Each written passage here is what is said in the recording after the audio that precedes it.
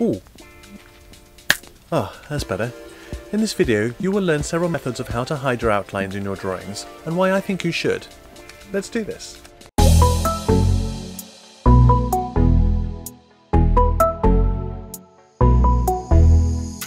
So we all know that the real world doesn't really have outlines around things.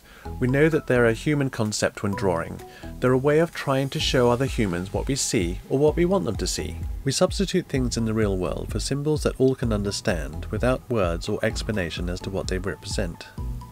Humans have been using symbols for tens of thousands of years to communicate to others, and we still do so today.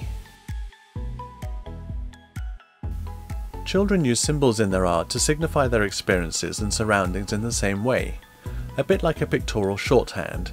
They draw what they feel and what they know and understand about the world. You may have heard art teachers saying, Paint what you see, not what you know. This is just to encourage you to step away from the use of symbolism in your art and instead really look and study what's in front of you and how you perceive it, then as your skills develop with practice, you'll be better at recreating the world around you and how you actually see it without having to rely on your preconceptions and pre-knowledge of how things we think are supposed to be. The contour lines we draw when sketching art are a graphical representation of value and form. We show these through different weights of line and mark making. They tell us information about where one surface or object ends and another begins. There are four key main elements that our brains use to determine where these divisional lines should be. So firstly, there's a difference of tonal value. One object is lighter or darker than another one immediately next to it. Second, a difference in texture. Using our experience in the world, we can recognize different textures without having to feel them with our hands. 3. A difference of colour difference again to tonal value. A, different, a difference of color is sometimes a visual indicator of different surfaces or objects. You can have two identical objects of the same color but a different tone, which is easy to see the difference, or the same tone, difficult to distinguish, but a different color. And fourthly, a difference of depth perception or spatial depth. After a certain distance between two points, the sharpness of focus can't be maintained between them at one moment, so our brain can only conclude that if one object is out of focus and one is in focus, that there is a spatial depth between them. So remember when rendering your final artwork that the outlines we drew in aren't there because they exist in real life. They are there as a guide because of one or more of these four reasons. These outlines are all place markers to tell us how to arrange tonal gradients, our colours, our textures, but as these lines don't exist in real life, if we want realistic artwork, we have to cover them up. So one main reason not to show your outlines in your work is that outlines are a prominent part of cartoons.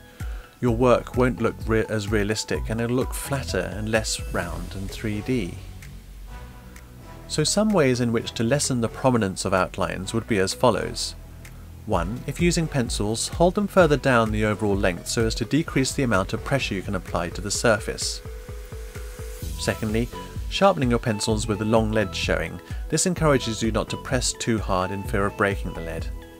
3. Don't use a soft lead as they're, they're much harder to erase.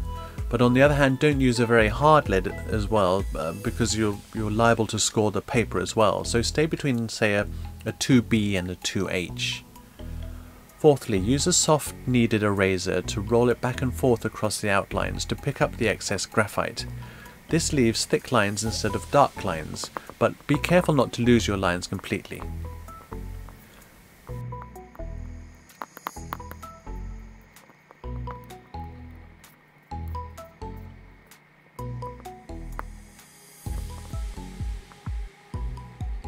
Fifth, if you can if you can, use the same medium as you're rendering or painting with to draw your outlines.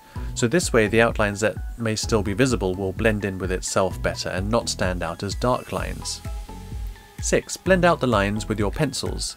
So as I mentioned earlier, we can see some outlines due to a difference of tonal value, so blend out the contour line between them by turning them into two different tones.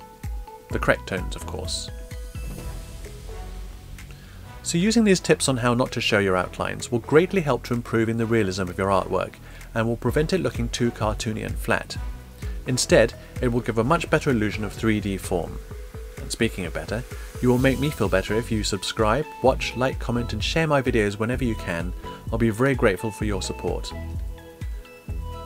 So bear in mind all these points when you're drawing your next piece of art, and I'll see you in the next video coming up. Take care.